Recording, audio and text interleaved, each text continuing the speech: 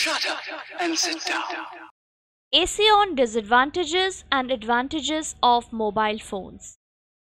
Disadvantages and advantages of mobile phones AC for students and children.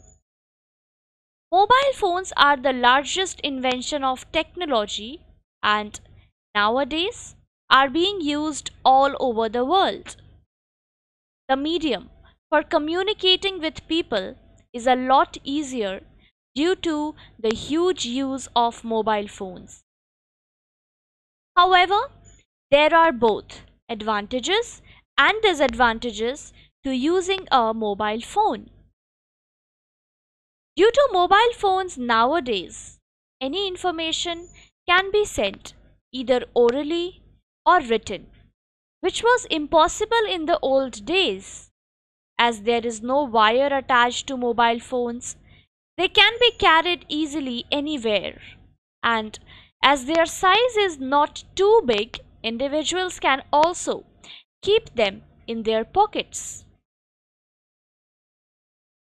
A student can also use a phone to immediately contact their parents in case of any student emergency. Mobile phones are considered very useful and have proven their importance to call security forces or an ambulance in emergencies like fires, medical issues, or maybe an accident. A mobile phone is used to call or text someone and has multi purposes like sending emails, taking pictures, if someone doesn't have a camera, or communicating with people online and making new friends. Nowadays, everything is being done online. And by using a mobile phone, one can effortlessly do almost everything with a single touch. Online banking, access to modern services and apps, improved networking capabilities, and online shopping are major tasks that can be performed using mobile phones. But on the other side, the disadvantages of mobile phones are also there.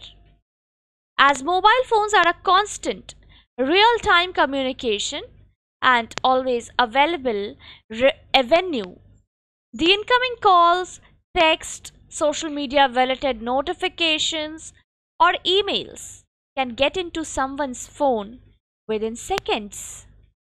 It is convenient in some cases, but while in a meeting or attending a lecture, if the mobile phone starts to ring, it interrupts and disturbs everyone. As communication becomes really easy due to mobile phones, the gripping feeling to text, making calls, or video calls while working, studying, or driving is a big distraction. Reports suggest that close to 9 individuals die due to road accidents caused by phone distracted drivers every day. Isolation is also one of the huge negative impacts of using mobile phones. Everyone is busy using mobile phones even if they meet face to face, which is also one of the major causes of harm to relationships in an individual's life.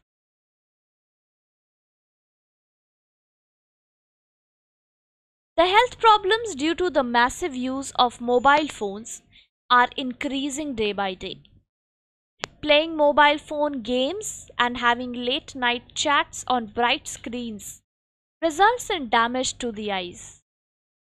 According to research, the network can cause skin cancers, insomnia, eye cancer, and even infertility are some of the health problems caused by mobile phones' huge use.